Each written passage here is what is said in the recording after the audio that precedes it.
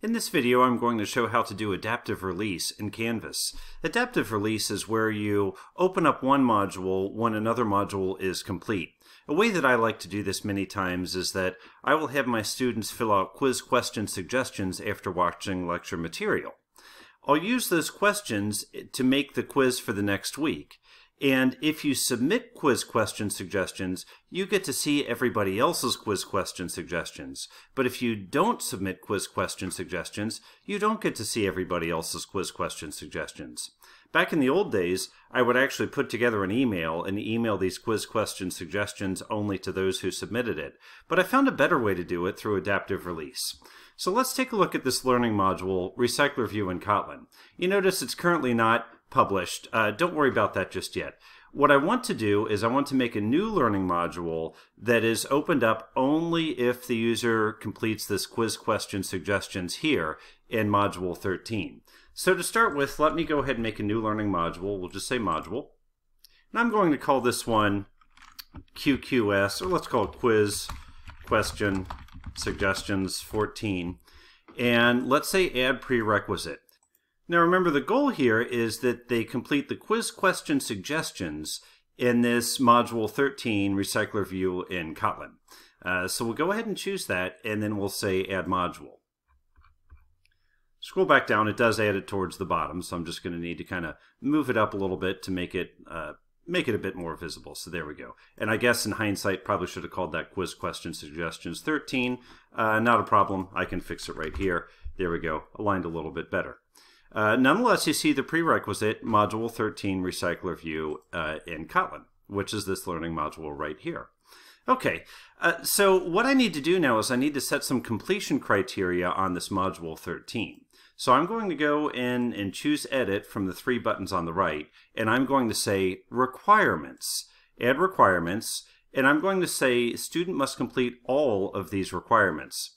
Now you notice if I select down here, you see each of the components of this learning module. In other words, Recycler View in Kotlin, you see we have the content and activities, which is where I have my lecture videos.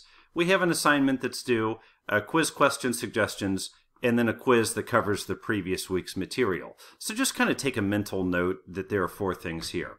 Now when I go here and I choose Edit, and I choose Add Requirement, and I say Student must complete all of these requirements, Look at this drop down here and you see those exact same four components of the learning module. The reason they're here is I can require that the student complete any of these. So for the content and activities, that's just where I have my lecture videos, and I could say view the item, which means they went in and they viewed that. Uh, final project video, since that's a submission, I could require that they submit the assignment. Um, I'm not going to worry about that one just yet because that one's actually due later. What I'm really concerned with is that they submitted the quiz question suggestions. So note that I have the quiz question suggestions here, and instead of view the item, I can choose submit the assignment. I could also do score at least if it were a quiz or something like that, but we'll keep it simple and say submit the assignment. Now I often want to make sure they've finished the quiz as well, so let me add one more requirement.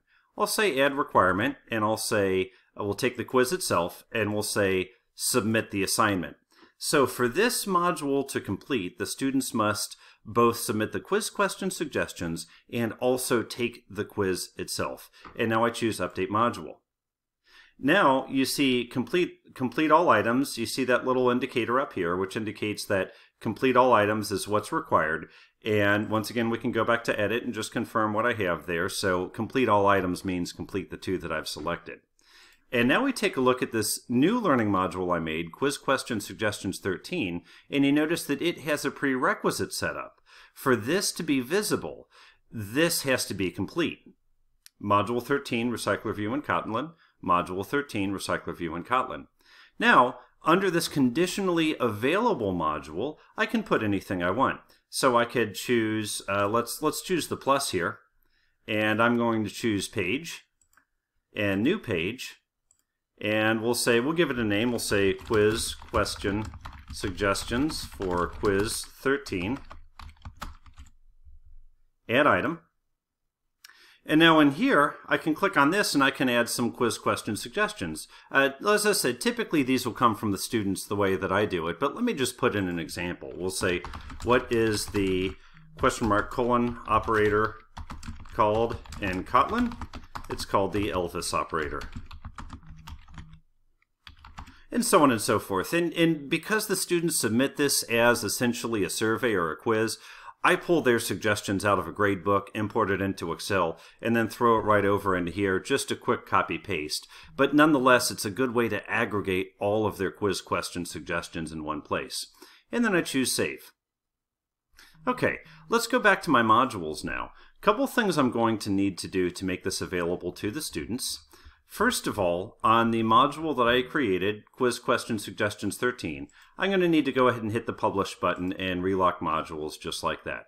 Now, this is published, it's available for the students, but again, only after they have submitted these two assignments or quizzes from the previous module.